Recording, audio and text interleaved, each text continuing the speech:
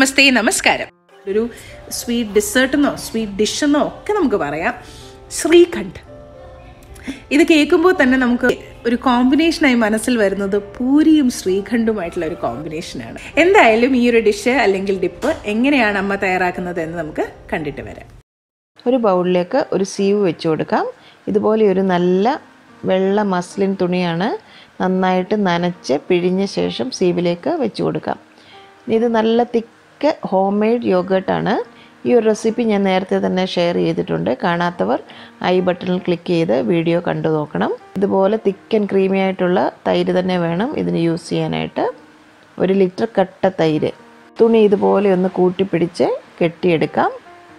Excess ആയിട്ടുള്ള വെള്ളമൊക്കെ അങ്ങ് പ്രസ് ചെയ്ത് കളയാം. അതിനുശേഷം ഇതുപോലെ സീവിലേക്ക് തന്നെ വെച്ച് കൊടുക്കാം.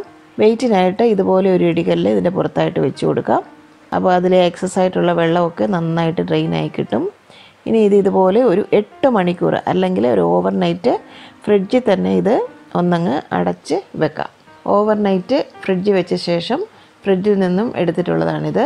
ആ കേടിലെ വെള്ളം മുഴുവനായിട്ട് തന്നെ പോയിട്ടുണ്ട് കണ്ടില്ലേ?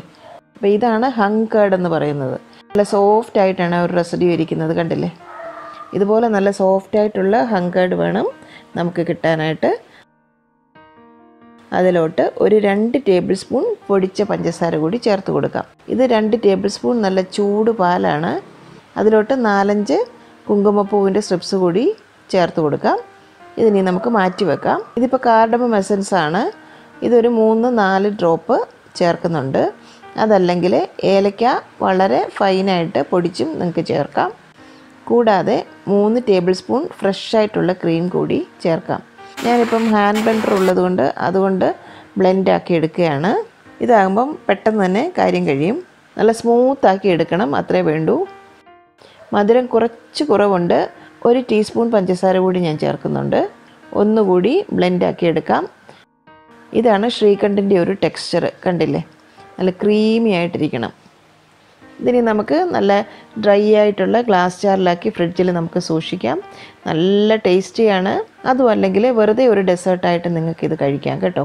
ഇനി അതിലോട്ട് ആൽമണ്ട്സോ പിസ്തയോ ഒക്കെ നല്ല ഫൈനായിട്ട് ചോപ്പ് ചെയ്ത് ഇത് ഗാർണിഷ് ചെയ്തെടുക്കാം. കുങ്കുമപ്പൂ അലിയിച്ച് വെച്ചിരിക്കുന്നത് അതിന്റെ പുറത്തായിട്ടൊന്ന് ഡ്രസ്സിൽ ചെയ്ത് കൊടുക്കാം. അപ്പോൾ ഇതും കൂടി ചേർക്കുമ്പോൾ നമ്മുടെ ശ്രീകണ്ഠ് നല്ല ഫ്ലേവർഫുള്ളാകും ഗുജറാത്തീസിന്റെയും മഹാരാഷ്ട്രീയൻസിന്റെയും ഒക്കെ വളരെ പോപ്പുലറായിട്ടുള്ളൊരു ഡെസേർട്ടാണിത്. ഇത് തന്നെ പല ഫ്ലേവറിൽ നമുക്ക് ചെയ്തെടുക്കാം. റോസ് ഫ്ലേവറിൽ ചെയ്യാം പൈനാപ്പിൾ ഫ്ലേവറിൽ ചെയ്യാം മാംഗോ ഫ്ലേവറിൽ ചെയ്യാം. ഇത് ചപ്പാത്തി പൂരി ബട്ടൂറ ഇതിന്റെയൊക്കെ കൂടെ നല്ലൊരു ഡിപ്പായിരിക്കും.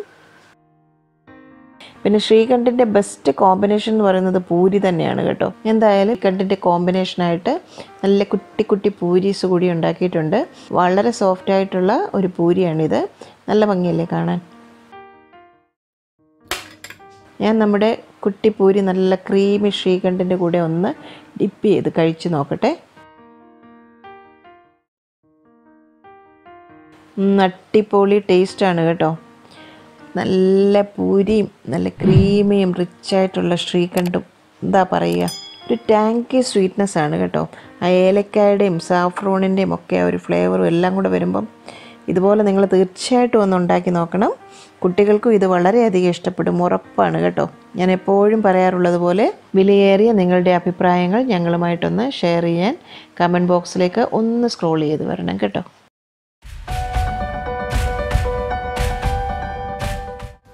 എന്റെ അമ്മയുടെ ഇന്നത്തെ ഈ റെസിപ്പി നിങ്ങൾക്ക് ഇഷ്ടമായെങ്കിൽ ഈ വീഡിയോ നിങ്ങൾ തീർച്ചയായും ലൈക്ക് ചെയ്ത് ഷെയർ ചെയ്ത് ഞങ്ങളെ സപ്പോർട്ട് ചെയ്യണം. ഒപ്പം തന്നെ കറിവ് തമ്മ സബ്സ്ക്രൈബ് ചെയ്യാനും ബെല്ലൈക്കൺ ക്ലിക്ക് ചെയ്യാനും മറക്കരുത്. പെട്ടെന്ന് തന്നെ ഞാനും അമ്മയും മറ്റൊരു റെസിപ്പിയുമായി എത്തും. അതുവരേക്കും നന്ദി ഗുഡ് ബൈ